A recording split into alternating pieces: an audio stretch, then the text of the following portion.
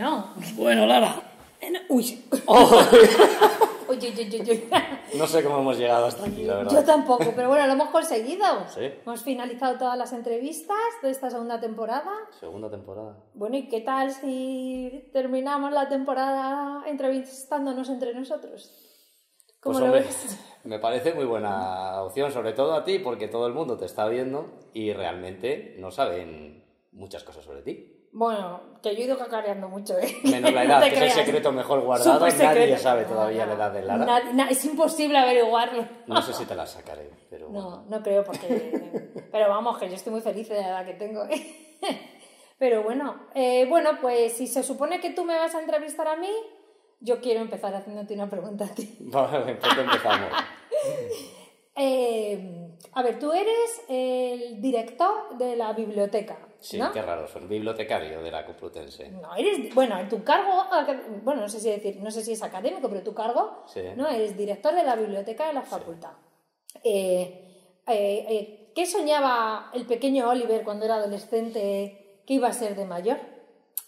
Pues bibliotecario no. No pensaba que. La verdad es que, no sé, es la típica cosa que yo creo que a ningún niño se le ocurre, ¿no? Los niños quieren hacer otras cosas, yo quería ser veterinario, ese tipo de cosas. Eh, y luego cuando fui a, eh, a estudiar, cuando ya llegué un poco la, la, la edad de elegir la carrera, lo que a mí me gustaba era la, la imagen y la comunicación visual. Ujú. Y no me llegó la nota, porque en ese momento eran esos años que estaba muy de moda para la comunicación visual, el periodismo, la publicidad, tenía una nota bastante alta, no me llegó. Y entonces eh, la carrera de biblioteconomía y documentación tenía una... En ese momento tenía una nota que era un 6,1, que tampoco una nota baja. Eh, hoy en día creo que ya no, no, no, no creo ni que se exija poco más de un 5. Pero sí que tenía la, la posibilidad de hacer los... Era una diplomatura, hacías los tres años y podías hacer luego un curso puente y Sí. pasabas a cuarto de periodismo, de comunicación audiovisual o de publicidad, porque estaba dentro de las ramas de, de la información. Y bueno, pues empecé a estudiar la carrera de biblioteconomía y luego me gustó muchísimo. Y bueno, yo estuve trabajando luego en, en- en- radio, en tele, hice prácticas, me gustó, me empezó a enganchar eso, luego me enganchó la informática y hasta, y hasta el día de hoy. Pero el pequeño Oliver le gustaba mucho leer, le han gustado los libros toda la vida, pero bibliotecario no pensaba. Bibliotecaria, pensaba, ¿no? sí. Bueno, pero, pero bueno, de alguna manera has ido hilándolo todo, ¿no? O Sí, sea al que- final lo que decía la anterior entrevistada de que muchas veces tienes que unir ¿no? lo, lo- lo que has estudiado con, con tus gustos o con tus Claro. capacidades o tus habilidades. Y Sí. al final, pues por ejemplo, pues después de muchos años sí que aplico cuestiones relacionadas a vídeo y a imagen dentro de mi ámbito profesional, ¿no? O sea que, Claro.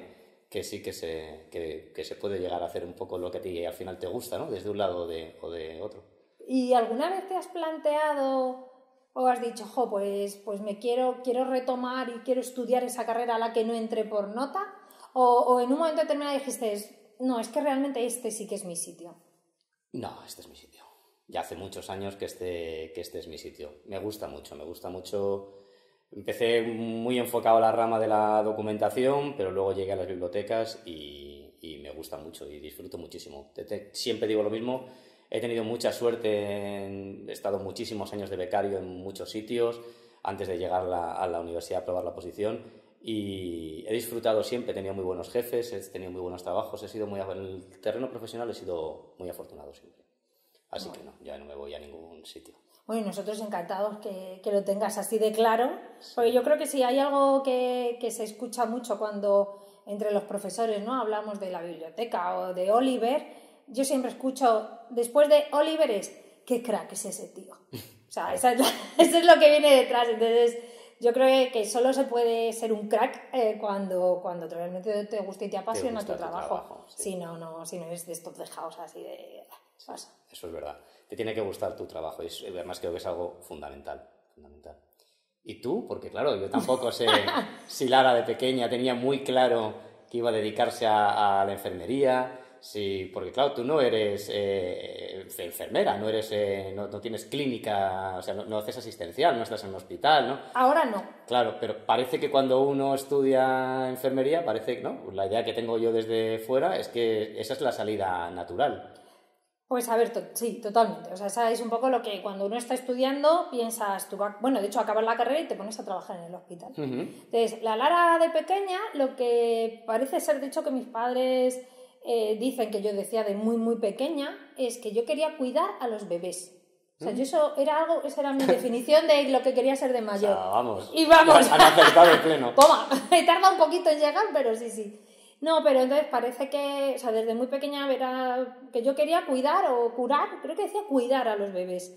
Y cuando empecé a ser más mayor, no sé, cuando ya estás estudiando y demás, yo voy a confesar una cosa, no sé si esto lo he contado oficialmente, yo quería estudiar medicina. De hecho, en la, pues cuando estaba estudiando bachillerato, yo soy esa generación... Venga, voy a contar mi edad. Va a Sí, lo voy a hacer, creo que es el momento. Voy a contar mi edad. Yo nací en el año 82, entonces este año cumplo 40 años.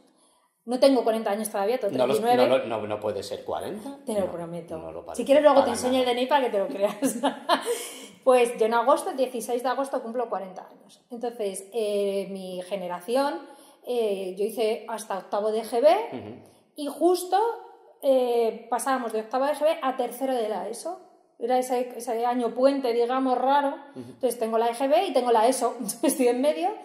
Y, y bueno, ya en bachillerato, claro, yo hice los dos años de bachillerato y esa actividad y entrabas a la facultad. Entonces, eh, yo, yo siempre he ido un poco así por la vida. Yo decía, no, no, yo voy a estudiar enfermería, o sea, medicina, y ya está, yo iba a dar la nota seguro, seguro. O sea, no tenía ningún tipo de duda. Menos mal que mis padres, benditos mis padres, mi padre y mi madre, menos mal que les tengo ahí, porque me dijeron, Lara, porque cuando, en ese- no sé ahora cómo irá esto de la EBAU, pero en aquel momento tú tenías que hacer un listado con las universidades y las titulaciones en el orden. Y yo solo puse medicina. Las universidades de Madrid, pero solo medicina. Y mi tía es dama militar, que es un, que, bueno, es una antes eh, una dama militar era como una enfermera especializada, eh, bueno, es- estudiando dentro de los militares, pues especializada en, pues, en las áreas que son necesarias en el caso de, de, pues, del ámbito militar. Es que no quiero decir las guerras, porque es lo de menos lo de las guerras, pero bueno, no era enfermería, era en concreto se llama dama militar, que luego se convalidó a, a auxiliar de, de enfermería, que es una pena porque yo creo que era como un- una situación un poco intermedia entre el auxiliar de enfermería y una enfermera. Pero bueno, entonces mi tía es la única persona de la rama sanitaria en mi familia, tanto por parte de madre como por parte de padre. Y mi madre decía, ¿por qué no quieres ser como la tía Heli? No dama militar, pues yo no se podía, pero decía, ¿por qué no, mira, incluyes enfermería por si no Por te si diera acaso. medicina? Y ya bueno, mira, para que se callara lo metí, que menos mal, menos mal. No me dio la nota para medicina O sea, que por... somos dos rebotados. Sí, sí, final. totalmente. Por eso me está haciendo mucha gracia cuando me estás contando tu historia. Digo, madre mía, si es que al final, pues por 0,5 me parece que fue, no entré en medicina. Agradezco muchísimo a la vida no haber entrado, porque dije, bueno, bueno, yo en aquel momento era un drama, claro. Dios mío, mi vida, tal. Y, y dije, bueno, pues entro en enfermería, sí que entré aquí a la Complutense, me daba la nota. Y dije, bueno, estudio primero enfermería y luego me cambio. Pero cuando el primer año de enfermería, en aquel momento de diplomatura, en, en noviembre empezaban las prácticas y yo cuando empecé a pisar el hospital dije, ostras, si a mí esto me gusta. Dije, pues esto a mí me mola. Dije, bueno, pues acabo enfermería y luego estudio medicina. Venga, Claro, total. todo seguido. Claro, yo, yo muy así siempre. Y, y entonces acabé enfermería y dije, es que no quiero ser médico. Entonces me di cuenta, estudiando enfermería, en la realidad, es que tengo un medio aquí hoy un poco, Eh, cuando ya estaba viendo la realidad, me di cuenta que no quería, que yo no quería ser médico. Eso lo tenía muy claro. Dije, no, no, es que realmente. De hecho, luego me han ofrecido becas para estudiar en una universidad privada. Yo trabajo en un hospital privado, me ofrecieron beca para estudiar en la universidad privada asociada a ese hospital, para estudiar medicina. Y dije que no, que lo agradecía mucho, pero es que yo no quería ser. O sea, me había dado cuenta que esa no era mi profesión. Entonces, yo llegué de rebote, Ujú. pero, pero me he quedado de forma muy consciente. Pero Eh, tú luego te dedicas más al ámbito docente, al ámbito de la investigación. ¿En qué momento te engancha Pues- ese otro aspecto? Pues en el momento en el que yo acabé la carrera y quise y empecé a trabajar en el hospital, como efectivamente, pero es que tú ni te planteabas en ese momento hacerlo de otra manera. Acabé, en el, acabé la carrera, empecé a trabajar en una UCI de neonatos, así a lo facilito, cambié a oncología pediátrica Y yo me empecé a hacer preguntas de, bueno, o sea, pues los niños y por qué, por qué se ponen enfermos ya recién nacidos, no hay unos hábitos inadecuados, ¿no? No hay una mala calidad de vida, ¿qué pasa? Y en concreto, la pregunta fundamental que hizo que me cambiara todo fue el por qué los niños nacen con cáncer. O por qué un niño con seis meses de vida, una paciente que se llama Belén, que a día de hoy está sanísima y sigo manteniendo el contacto con la familia, mm. Eh, Belén a los seis meses eh, desarrolló una leucemia eh, linfoblástica aguda. Entonces, un bebé de seis meses. O sea, ¿qué, ha pasado ahí? Y eso hizo que empezara a interesarme en la genética. Hizo que tuviera que estudiar muchísima genética. Y, y empecé a interesarme por intentar entender mejor determinadas bases bioquímicas que para, para, para entender qué ocurría a esos pacientes y poder tratarles mejor, etc. Entonces, bueno, esto, esto sería muchísimo más largo, pero para, que no salga el, vídeo más largo de las temporadas, me mm, hizo que me fuera interesando en hacer trabajos, llevarlos a congresos.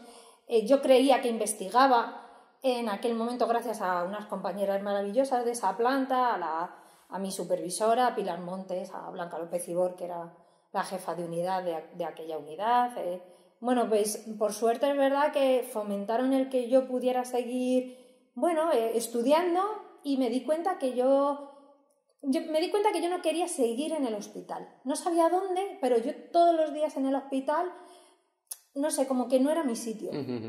Y bueno, y hubo un momento en la vida, yo a lo largo de, de mis 40 años he tenido varias crisis existenciales que han hecho que me preguntara, pero yo quiero seguir aquí, ¿no? ¿De qué manera? Y es, la de esa época eh, me empujó a intentar dedicarme a, a, poder meterme en el mundo de la investigación. Y entré en el Centro Nacional de Investigaciones Oncológicas como coordinadora clínica de proyectos de farmacogenética. Cuando llegué allí lloré mucho porque me di cuenta de lo poco que sabía y lloré mucho porque me sentía tan tan, limitada, porque decía, madre mía, son muy listos, esta gente es muy lista. Y yo no entendía nada de lo que hablaban, era como una locura. Entonces estudié todavía más y luego, pues con el tiempo, tuve la suerte de que la que era mi jefa mm, quiso dirigir mi tesis doctoral y me pude doctorar en, en un proyecto clínico, pero asociado a un proyecto de farmacogenética y muy chulo. Y a día de hoy, pues soy profesora de genética y de inmunología. Y sigues estudiando. Y sí, por supuesto. Y nunca se deja de estudiar. Nunca se deja de estudiar. Digo que a mí mi profesión es estudiar, a mí me pagan por estudiar. Es una suerte. Es, una suerte, pero si se lo llegan a decir a la Lara del instituto, dicen ni de coña. ¿Qué dices? ¿Qué dices? Sí, sí, y así es como he llegado aquí. Bueno. Pues fíjate, fíjate tú. Oye, ¿y tú qué proyectos tienes aquí en, oh. en la facultad?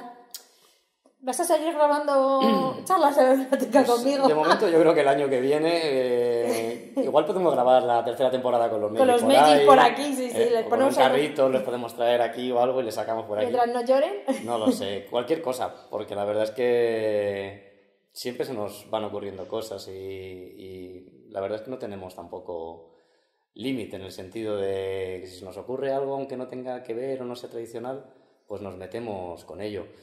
De momento, pues eh, dar el servicio que damos, que es el que estamos haciendo y el que tenemos que hacer con nuestros estudiantes, pues intentar adecentar lo mejor posible los espacios. Tenemos ahí una previsión de una posible ampliación en, la biblioteca, a ver si todo sale bien y, podemos tener una biblioteca un poquito mejor para nuestros estudiantes, para nuestros profes. Y seguir haciendo lo que, lo que estamos haciendo, o sea, seguir apoyando a la facultad, participando en todo lo que podamos y metiéndonos en todos los fregados que podamos, porque la verdad es que no somos de decir... no, no, la verdad es que no, no, sois monotemáticos que va, sino que tenéis ahí un amplio espectro impresionante, la verdad. Bueno, que todo lo que nos, nos, proponen, la verdad es que nos metemos en, en, casi todo. Y es una suerte, siempre lo digo, es que es verdad, o sea, que te permitan entrar en determinados proyectos, que te permitan eh, formar parte de la facultad, como, como pasa aquí con esta biblioteca, es una auténtica suerte. Entonces, bueno, también tenemos que aprovecharla, yo creo. Pues sí, sí, sí, porque, porque ya que la vida te brinda ¿no? este tipo de situaciones. Mm. Y, oye, ¿tú cuando estudiabas eh, usabas la biblioteca de la universidad? ¿Fuiste usuario? No, no, no. no. He, he sido usuario de biblioteca pública.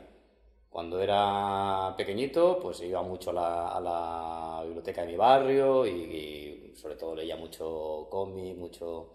Me gustaba a mí en esa época y bueno, me sigue gustando también. Eh, y sí que he ido muchísimo a la biblioteca del barrio porque además, además del servicio de biblioteca era un, era un sitio social, ¿no? Una forma de relacionarte también la, la gente del barrio y me gustaba muchísimo, siempre me han gustado. Pero luego durante la época de la carrera, no, la verdad es que no he sido usuario de la, de la, La biblioteca. biblioteca. Fíjate, siendo estudiante de, cosa, de sí, sí. documentación. Luego, porque la, la licenciatura, cuando yo la estudié, era la licenciatura de documentación, se hacía en ciencias de la información. Vale. Eh, antes estaba documentación ahí, antes de que se creara la facultad de documentación donde está ahora.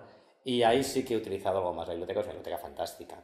Y bueno, pues como a mí me gustaba también, pues tiene mucho fondo de cine, tiene muchos guiones y la verdad es que tiene una colección bastante chula. Y aquí sí que he utilizado algo más la biblioteca, pero la biblioteca de documentación, la verdad, es que poquita. Que nada, no Nada, te sobre veía. eso de en casa del herrero, pues tampoco. Bueno, pero ya está aquí cada uno. Luego, mira, por suerte. No. Y yo quería que contaras, porque los, la gente que nos está viendo Los cientos de miles de Los millones. cientos de miles de millones. llegáis a cifras. saben que, quién eres, eh, te han visto las entrevistas, eh, saben que estás eh, en este proyecto las charlas, además de muchas otras cosas también. Pero al no creo que conozcan lo mejor ese otro proyecto que tú tienes y que, y que a mí me gustó mucho cuando me lo contaste y, y que yo cuando me enteré dije, ah, o sea que tú haces esto de... ¿Eres el de- madre?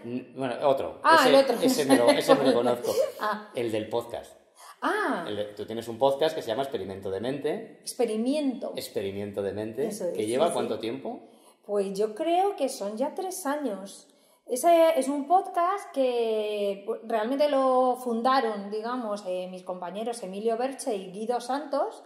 Un saludo Eh, para ellos, un ¿no? que nos saludito, claro. Eh, y pues mira, yo trabajé antes de conseguir la plaza aquí en la Complutense, estaba de profesora en la Universidad Europea de Madrid. Y, y allí coincidí, yo estaba en el departamento de enfermería y coincidí con el departamento de... de me, me río porque en el departamento de psicología estaba sentado justo al lado, allí era la zona de los profesores no tienen despachos individuales, o bueno, tienen despachos de dos en dos o como estamos aquí. Allí es como una zona amplia que se llama la praderita, le llamábamos, y la pradera. Y en la pradera eran mesas con, con puestos seguidos, como muy americana, Sí, sí, sí. Y luego cada dos mesas, eh, como una pequeña mm, estantería que separaba como módulos. Espacios. Entonces, espacios, eso es. Entonces, la mesa donde yo estaba eh, eh, justo coincidía con que la siguiente ya era el departamento de psicología, pero bueno, es que total, estábamos allí todos juntos. Eh, yo digo que en el fondo yo creo que ellos, alguna tesis doctoral salió de, o sea, que no es que yo me llevara bien con los psicólogos, sino que de forma así casual ellos decían, Lara, vente a tomar café, pero lo que querían era información. pues yo tengo mis pedraditas. Entonces me llevaba muy bien con, con ese departamento, igual que con otros muchos. Yo soy muy de, de, de la interrelación entre No me digas, departamentos. ¿sí? sí, sé que no lo vais a esperar, sí, pero me no. encanta. Me encanta ampliar horizontes más allá de mi departamento.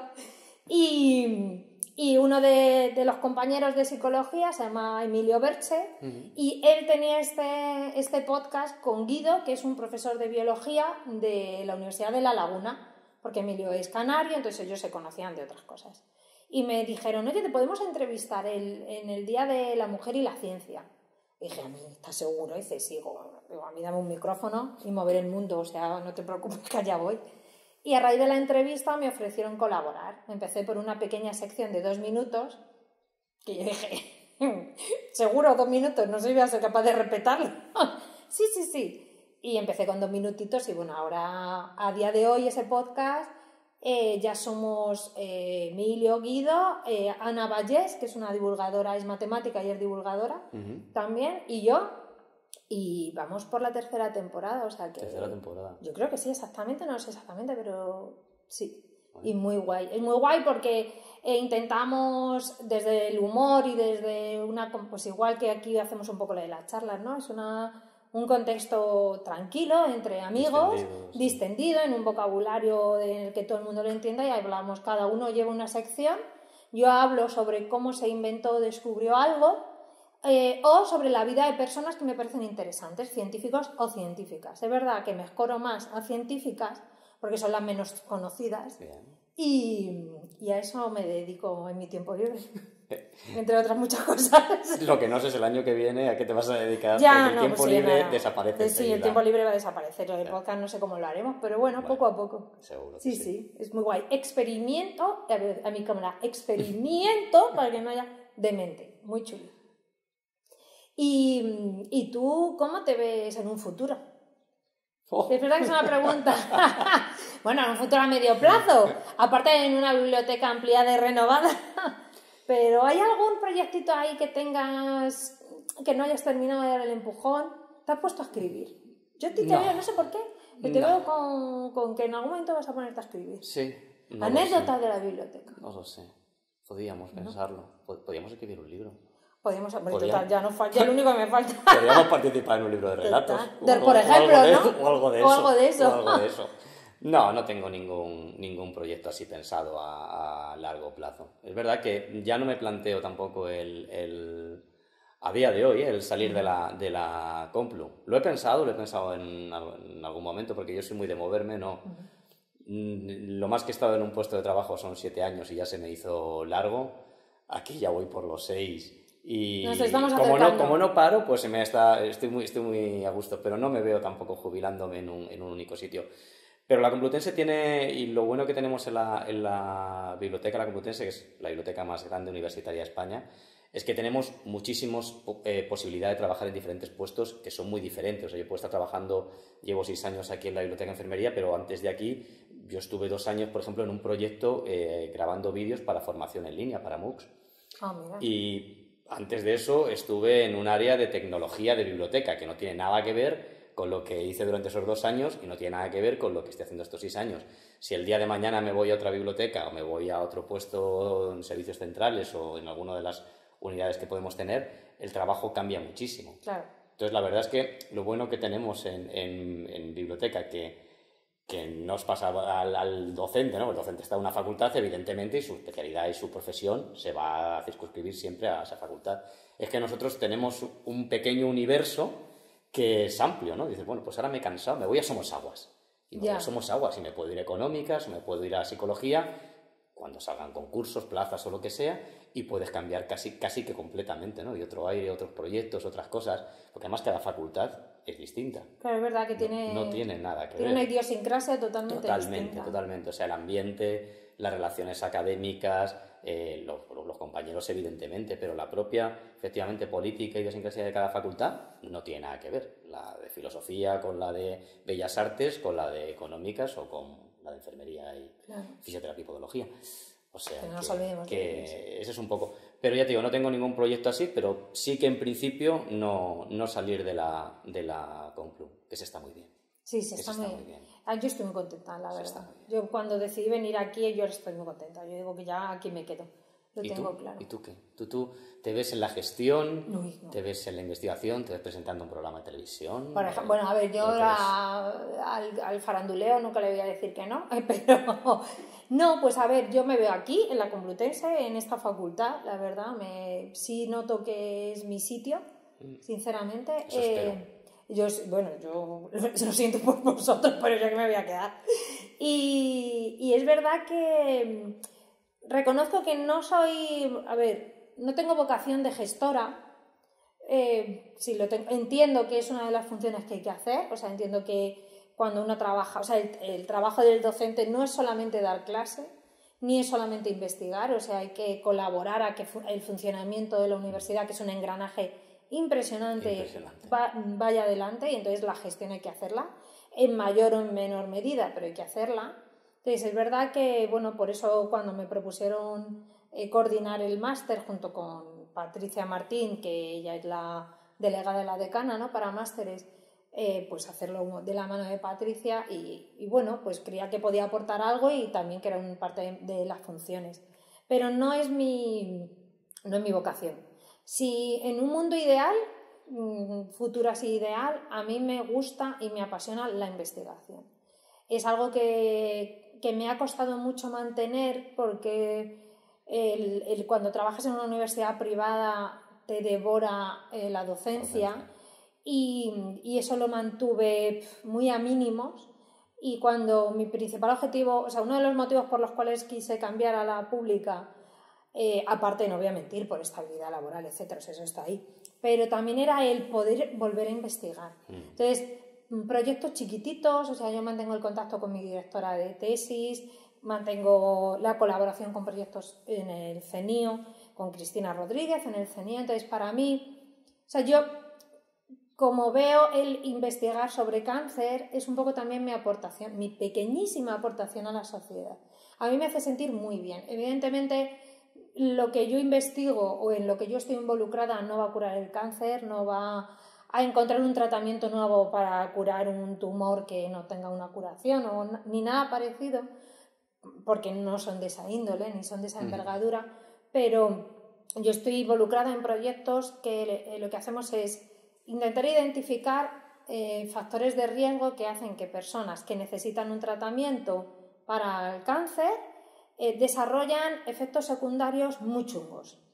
Tan chungos como que hacen que te lleguen a parar el tratamiento, ya sean inmunoterapias o quimioterapias o como sean. Entonces, lo que yo intento identificar es, antes, si una persona necesita ese tipo de tratamiento, ¿Cómo saber qué riesgo tienes de que llegue a ocurrir eso? Entonces, si nos adelantamos, te adaptamos el tratamiento que funciona frente al cáncer para que no llegues a tener ese grado tan tóxico y por tanto nunca lleguen a pararlo. De esa manera tú recibes tu tratamiento, te curas del cáncer, pero, y perdón de la expresión, pero no estás puteada con el efecto secundario que incluso puede luego curarte de cáncer y seguir con ese efecto secundario el resto de tu vida. Entonces es como, Dios mío, pero ¿cómo puede seguir pasando esto? Entonces yo estoy metida en ese tipo de proyectos. Entonces me hace, sé que, bueno, llego a con las conclusiones a las que llegamos, eh, eh, tiene un valor X, pero esa información unida a la de otras muchas personas. Así es la ciencia, ¿no? Claro, es muy colaborativa, entonces hace que yo me sienta, yo me siento bien porque creo que estoy haciendo algo que ayuda o que ayudará a la sociedad en algún momento. Entonces, entonces, para mí, poder dedicarme a eso y a prepararme a mis clases. Yo disfruto tanto dando clases. O sea, me lo paso tan bien con los chavales. Engancha la docencia. Es muy guay. O sea, es muy guay. Es muy guay llegar al primer día a clase y decir, bueno chicos, ahora vamos a empezar genética. Y ves a las caras de los estudiantes de enfermedad de, madre mía, aquí viene la motivada esta. O sea, esto jamás se le ve a alguna cena así un poco de qué vergüenza ajena esta mujer. Se lo noto. Chicos, me doy cuenta. No me importa. De verdad, no me importa. Sé que va a seguir pasando, pero no me importa. Porque lo que mola es esas caras del inicio. Cómo van evolucionando. Efectivamente. Y cómo empiezan a preguntar. Y cómo a veces cuentas algo y de repente oyes en clase. ¡Hola! Porque entonces ese momento es como les he pillado, ya están enganchados. Seguro que eres buena profe. Y mola. Bueno, eso habría que preguntárselo a ellos. Pero yo me lo paso bomba. Y, prepara, y pensando, pues a ver cómo le voy a... Y voy a cambiar esto. ¿También les tocas el xilófono y eso? No, no. No, pero una vez les he bailado, ¿eh? El xilófono no, pero alguna he bailado. Te, uso un micrófono para no quedarme sin voz. Y te vienes arriba, claro. Bueno, bueno, bueno, bueno. Llego, bueno, a lo Britney Spears. Give me baby one more. Sí, eso lo hago. Ahí es cuando ellos hacen así. Qué vergüenza esta mujer. Pero no pasa nada. Bueno, a mí no me importa, o sea, que yo tiro para adelante. Pero bueno, oye, eh, ¿y qué lees tú en casa? ¿Qué leo en casa? Leo poco. Leo poco. Bueno, fíjate. ¿Le lees cuentos a tus hijos? Sí. Ah, de, hecho, es lo que más leo. Muy bien. He tenido épocas, en mi vida he tenido épocas de leer mucho y de, de no leer nada y, ahora estoy, volví a leer, fíjate, es, volví a leer eh, con la pandemia, que es algo bueno, que es aquí de, La, de, La, pandemia, y entonces me esfuerzo a, aunque sea un poquito los ratos que tengo, no leo porque no tengo tiempo realmente, porque final tengo mil cosas que hacer, tengo dos niños pequeños y la vida al final me consume y no, tengo, no, no, no soy capaz de sacar ese tiempo de la lectura. Pero es verdad que ahora ya me obligo y voy leyendo poquito a poquito. Eh, y lo que leo es novela, leo en casa ya solo comprarme, comprarme, eh, para mí ya solo me compro novela gráfica porque me gusta por, el, por, el, por la cuestión material. Y en casa lo que leo es eso y, novelas, pues eh, novela negra, o sea, cosas muy, muy sencillas, muy ligeras, Bueno, ¿Por qué novela no? negra, sencilla y ligera, ¿sabes? Yo no la definiría así, pero bueno. Bueno, pero te quiero decir que, que- que son cosas de entre, que, que busco entretenimiento. o sea, Claro, que bueno, cuando yo leo no es para desconectar, es para intentar desconectar. eh, te iba a decir de la pantalla, porque es verdad que hasta el año pasado, hasta hace dos años, no he tenido un libro electrónico. Siempre me. De hecho, me los han regalado y los he devuelto, porque siempre he dicho, no, no, a mí el libro me gusta en papel, papel, la ¿eh? lectura en papel y tal. Pues he sido yo toda la vida, hasta hace cosa de un año que, que compré un, ver, me compré un Kindle y joder, ahora no lo suelto. Y ahora ya no lo cambio, fíjate. Fíjate. Y me, y gusta muchísimo. Y es muy cómodo. La verdad es que es una gozada, porque vas cualquier fin de semana, lo echas a la mochila. Claro, sí, es verdad que no Y lo llevo, y- claro, y llevo, llevo siempre libros míos y libros de, de mis hijos. Y a mis hijos siempre, o sea, desde muy pequeñitos, mis, mis dos hijos leen, mi hijo lee una auténtica barbaridad. O sea, Qué bueno. esto no deberíamos decirlo, pero es que muchas veces tenemos que decirlo. O sea, ya para de leer, que tienes que hacer no sé qué, te suelta el libro. O sea, una cosa tremenda, ¿eh? O Pero sea, lo- qué lo bueno, de mi hijo es, es tremendo. Yo espero que le dure mucho, porque ya sabes también que luego Bueno, estas son épocas, claro. igual llega la adolescencia y luego no toca un, un libro, pero desde luego ahora es una, es una maravilla. Entonces leo eso, novela, y, y lo que leo con ellos, que leo mucho. Y, y también he aprovechado a leer cosas que no había leído. Yo qué sé, por ejemplo, yo Harry Potter le he leído hace... Bueno, es que. Hace muy poquitos años, O sea, o sea- yo soy súper fan de Harry Potter. O sea, Pues a mí me encantó, fíjate, yo no lo leí en su día, ¿no?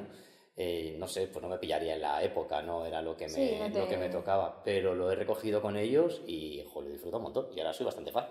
O sea, yo que soy- yo he ido al también he cine cogido cosas. a ver las últimas de, de la saga, ¿eh? Cuidado. Sí, yo las películas las había visto, O sea, fíjate, que- pero, pero los libros no. No, pues sí, sí. es y es, es una, es una gozada.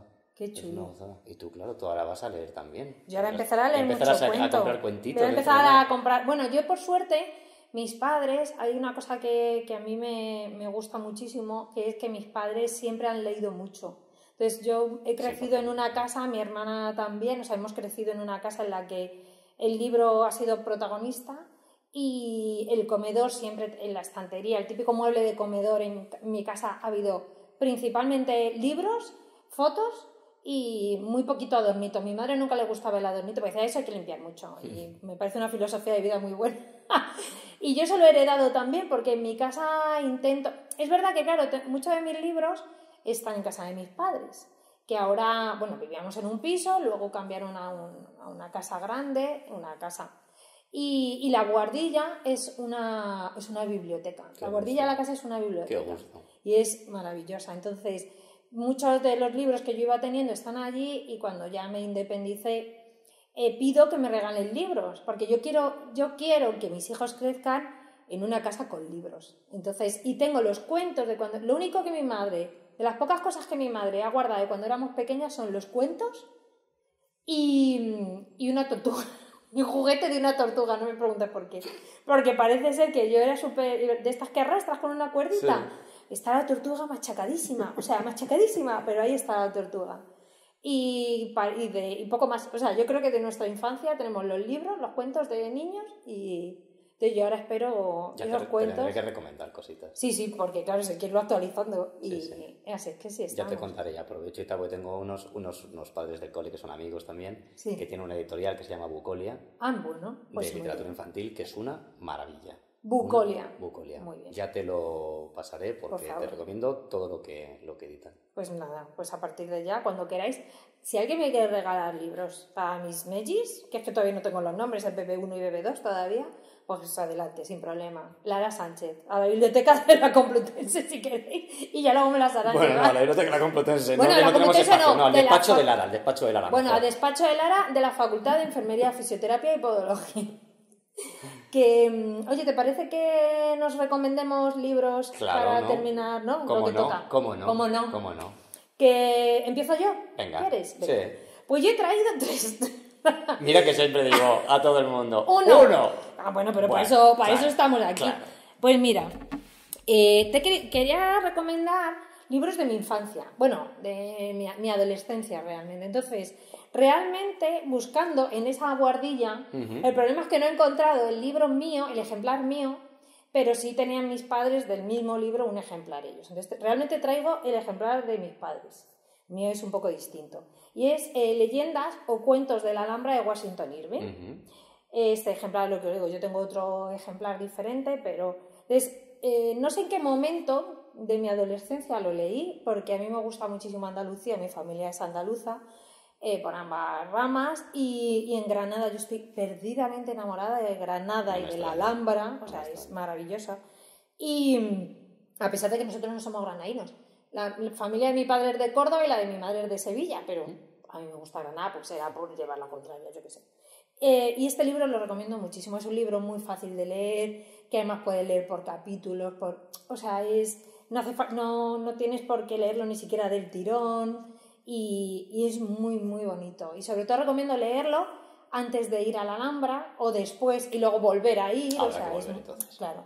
Entonces, te recomiendo este libro. Pero es que realmente mi adolescencia era, fue este libro, fue eh, los Rimas y leyendas de Gustavo Adolfo Becker, que, no le, que ese no lo he encontrado. Y también mucha poesía de Machado, de Antonio Machado. Que, bueno, Antonio también tenía un hermano, de los hermanos Machado, pero sobre todo Antonio Machado. Entonces he encontrado este pequeño librito, fijaros qué tonterita, pero es que este, esto, está, esto es lo que yo me leí de, de jovencita. Entonces me, me hace mucha ilusión traer este. Se le coge cariño. Se le coge, sí, sí, es que por eso, pero a mí el papel es diferente. Entonces, estos dos porque simbolizan un poco mi adolescencia. Y actualmente me he enamorado de, de, los dos libros que tienen Juan José Millas y Juan Luis Arzuaga. Se le acabamos de comprar. La vida. claro, es el primero, digamos, se supone que el primero, se puede leer en cualquier orden. La vida contada por un sapiens a un neandertal. Y ahora me estoy leyendo este que es La muerte contada de un sapiens a un neandertal. Me parecen maravillosos, me he reído muchísimo. Aprendes, pero de una forma muy ligera, porque cuentan cosas súper interesantes y yo claramente me identifico con el neandertal. Entonces os animo a que lo leáis y, y, reflexionéis sobre si os sentís más sapiens o más neandertal.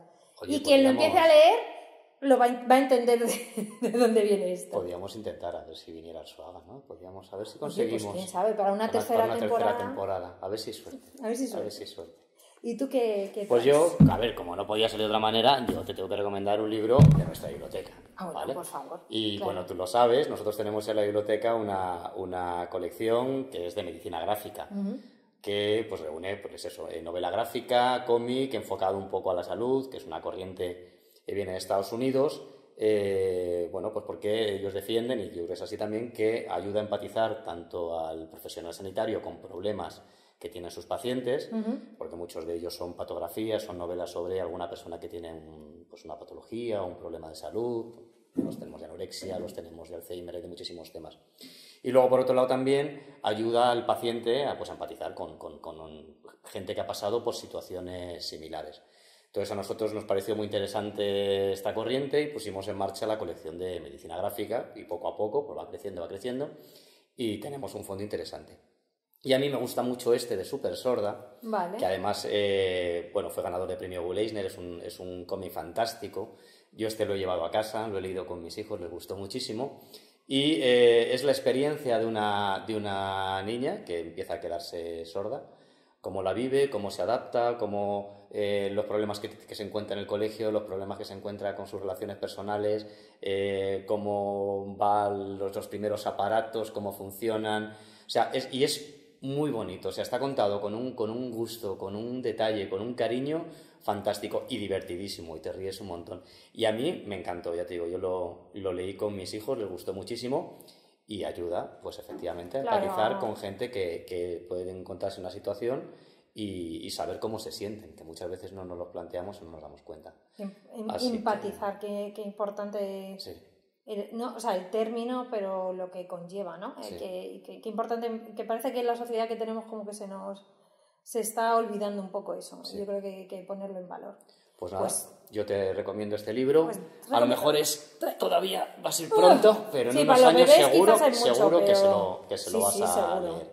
Qué bueno. Y es una, es una maravilla, la verdad que es un libro Y qué bonito. ilustraciones más bonitas también. O Sí, sea, sí. que- Qué chuli. Pues nada, recojo, recojo la recomendación. Yo recojo las tuyas Y también. mm, ¿qué nos vamos a tomar? Bueno, yo una, un agua con una rodajita de limón, pero una cañita. Yo una y- cañita igual sí. Y vamos Igual pensando sí. en la tercera Igual sí. temporada. Tercera temporada. ¿Tú crees que Paloma y Elia se unirán o no? Sí. Yo creo que sí. Sí, No saben decir que no tampoco. Ve, fenomenal. Pues nada, dejamos el testigo. Gracias por este proyecto tan chuli. Gracias a ti. Gracias por este presentación, Chuli. ratito. y, y a los que nos estén viendo, que nos esperen en la tercera temporada.